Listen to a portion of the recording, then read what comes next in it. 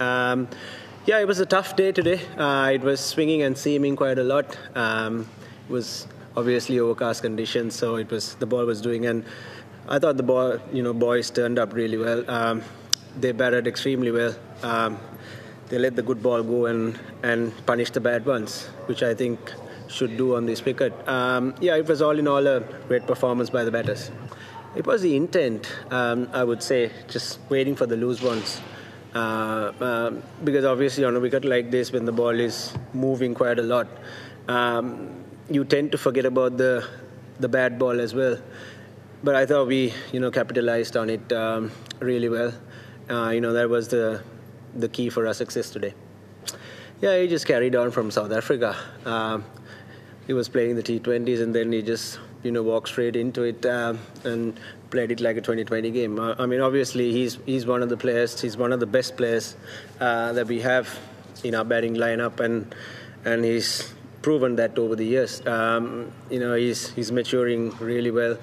Uh, he's taken on the responsibility and he, he's taking on uh, the opposition as well. I mean, in these conditions, the way he batted, uh, it was more than a ball, and it was quite fantastic to watch.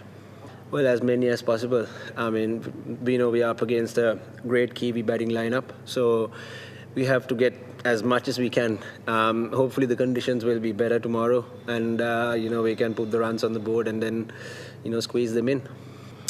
Yeah, I mean, very much. I mean, uh, we are playing for it all. Um, you know, we know that it's it's pretty straightforward. I mean, we need to win in New Zealand, and we need to play extremely good cricket. I mean, the boys have been brilliant over the last uh, eight months or so, especially in this in this Test Championship. But unfortunate that uh, we are not playing too many Test matches uh, in this year. I mean, as few as five. It's really disappointing because uh, I mean uh, we are coming off a long layoff. I mean, the last last Test match was six months back, and then everyone's talking about Test cricket dying and and, and stuff like that. But we are not we are not doing any good for Test cricket, playing only five Test matches a year. So I think it's really disappointing. But hopefully um, we will get more matches this year. Um, uh, and five, I think, is is not you know definitely not enough. See the guys taking responsibility uh, up in the middle um, because we know that we are up against a high quality bowling, you know, bowling attack, especially in these conditions. It's not easy. Um, I mean, um, you know, it's pleasing to see guys taking responsibility. I think Dimuth batted brilliantly. You know, the ball was doing a lot when he was, you know, he negotiated really well with Kusal Mendis and then Chandimal. You know, everyone chipped in. Um, you know, obviously uh, you tend to get a good ball on, on these type of wickets any given time.